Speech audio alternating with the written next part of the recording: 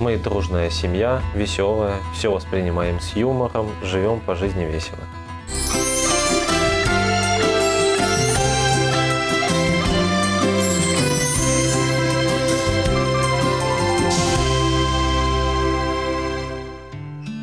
Зовут меня Герасименко Сергей, это моя жена Ксения, это старшая дочь Полина и младшая дочь Аня. С женой мы познакомились у друга. Была ли это любовь с первого взгляда? Скорее всего, могу сказать да. Прям амур, прямиком, прямо в сердце, наповал. Самое интересное и смешное было в нашей истории то, что его как бы не, в нашей компании почему-то не позвал никто по имени. А так как мы с одной деревни, было неудобно спросить, как его зовут. И то есть, когда мы уже погуляли, проводил меня до дома, я пришла домой, а утром пришел мой друг и говорит, как ты там с Сергеем прогулялась вчера? А я такая, ой, а его Сергей зовут. Он говорит, ну ты даешь, даже не спросила. Ну, вот так вот. Ну, он знал, как меня зовут, а мне я постеснялась спросить. И вот 8 мая мы считаем днем нашей совместной жизни. Даже празднуем. В этом году у нас уже будет маленький юбилей, 15 лет, как мы уже вместе с тех пор. Я закончил университет, Ксюша закончила колледж и встал вопрос свадьбы. Я своими родителями сходил, договорился с родителями Ксюши о дне свадьбы. По сути дела, замуж меня до сих пор еще никто не позвал, потому что ну, так получилось, что Сергей подошел ко мне и говорит, надо познакомиться с родителями. Ну, я как-то и согласилась. И потом Сергея мама спросила, говорит, Ксюша, а предложение тебе Сергей Петрович уже сделал? А я смотрю и не знаю, что сказать.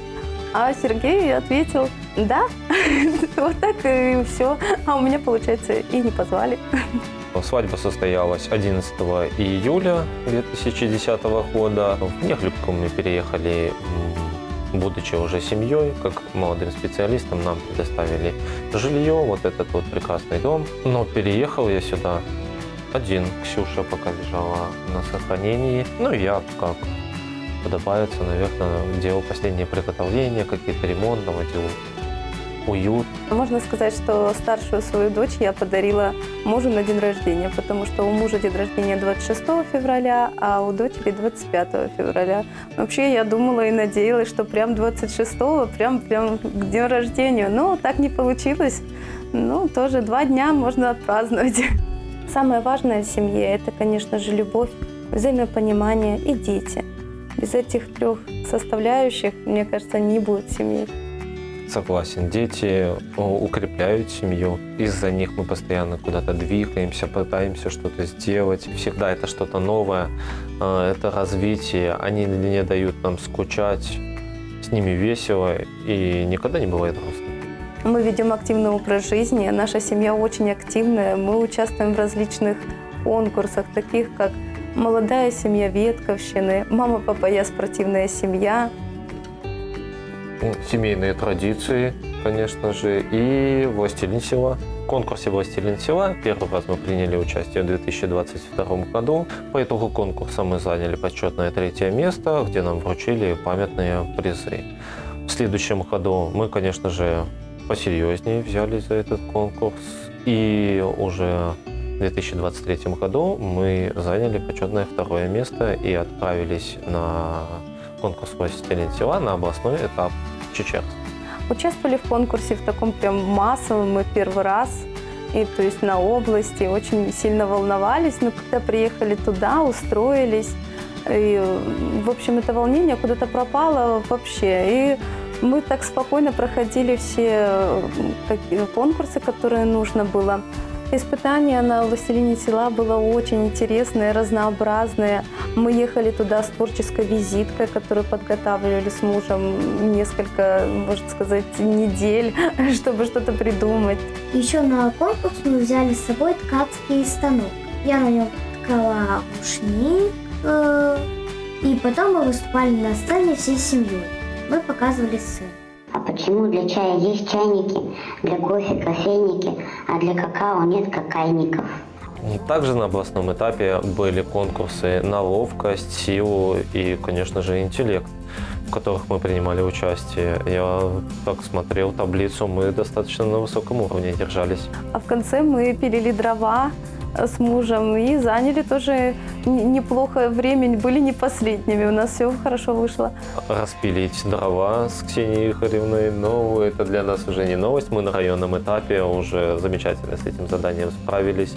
Также на районном этапе «Властелин села» у нас был замечательный конкурс. Это нужно было запречь и распречь лошадь. Э, мужчина запрягал, женщина распрягала, в котором мы с Ксенией Игоревной участвовали. Это все на время фиксировалось. Было много спортивных состязаний, но особенно смешно было смотреть, как родители прыгают в мешках. Хотелось бы сказать, чтобы молодые семьи не боялись э, участвовать в различных таких конкурсах, потому что это очень интересно, увлекательно. Э, это сплочает семью, и твоя семья, она самая лучшая всегда для тебя. И нужно не стесняться показывать, что твоя семья действительно самая лучшая. Участвуйте, не бойтесь. На «Властелине села» было очень э, такие разнообразные конкурсы, где к женщинам надо было выполнять более мужские такие задания – но это не составило труда, потому что дома, э, в семье у нас происходит точно так же. То есть, если, например, я не могу приготовить ужин, то я знаю, что мой муж всегда как бы заменит меня в этом приготовлении. И если вдруг он задержался на работе, то есть как, какие-то обязанности его я тоже могу без труда выполнить. Да, жена у меня молодец. Если что, она свободно может меня заменить. Э, выполнить любые обязанности так же, как и я, потому что в семье все должны быть друг другу опорой и взаимозаменяемы. Мои дети – это мои помощницы. Старшая Полина, приходя со школы, наводит дома порядок. Она подметает, помоет посуду, развесит белье. И когда я еще на работе, она приобщает младшую к этому. И плюс помогает делать уроки. Закончил Коминский государственный университет имени Франциска Скорына.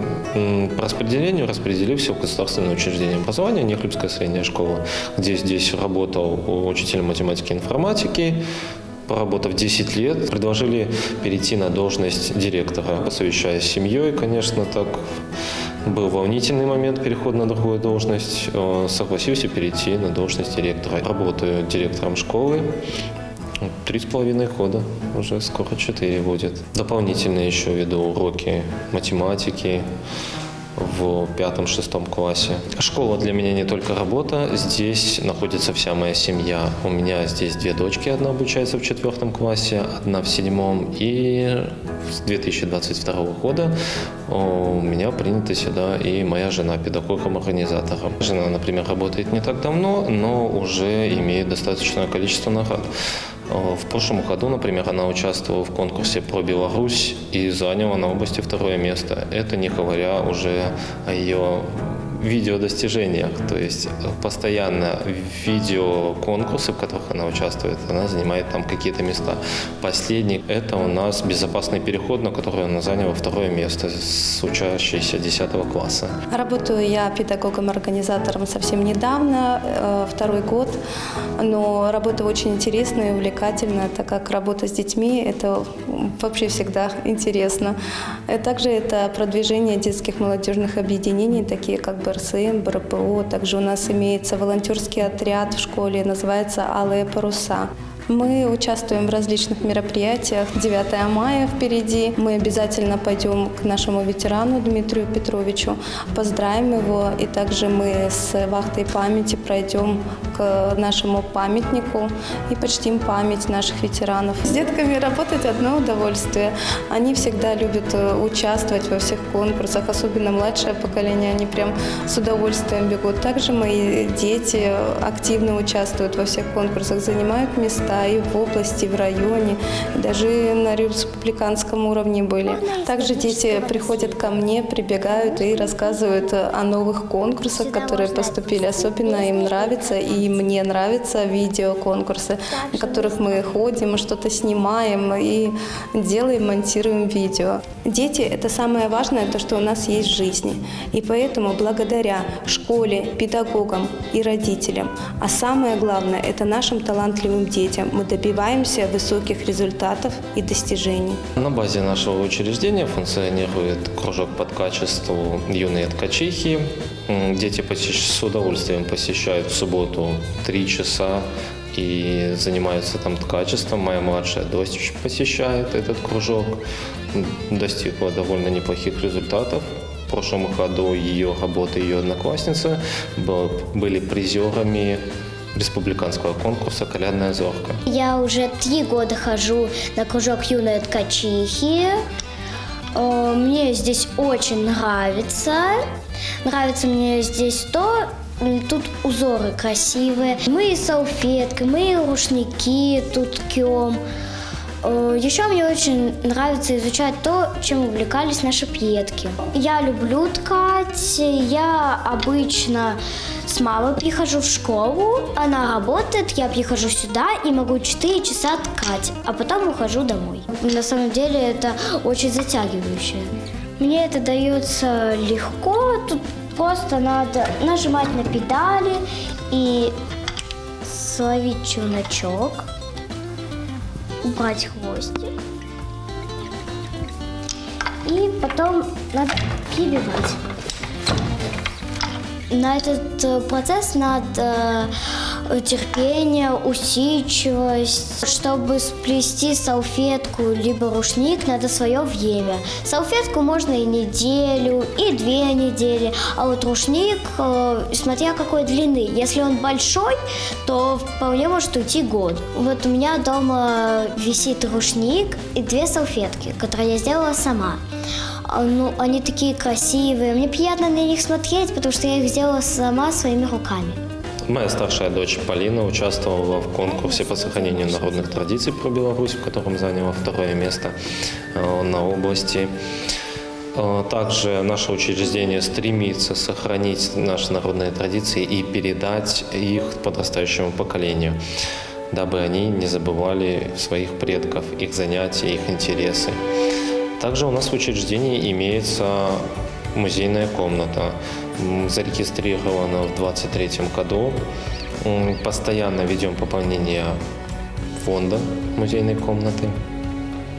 Там имеется информация об истории школы, об истории деревни, а, о наших ветеранах Великой Отечественной войны. Учащиеся нашей школы, а также лично моя семья, часто посещают данную музейную комнату. Я считаю, что мы просто обязаны чтить память о подвиге наших дедов и прадедов в годы Великой Отечественной войны и передать их нашим детям и внукам. Я учусь в седьмом классе, мне 13 лет. Я участвую в проекте «Беларусь помнит», «Беларусь помнит каждого». Я собираю информацию про ветеранов нашего агрогородка Нервка. Я вылаживаю это все на сайт вместе с фотографиями, некоторыми ими историями, их звания на войне. Я нашла информацию про Сиросека Петра Ефимовича и Ковтунова Дмитрия Петровича. Они уже есть у нас на сайте. Этих два ветерана проживали в нашем агрогородке Неглюбка.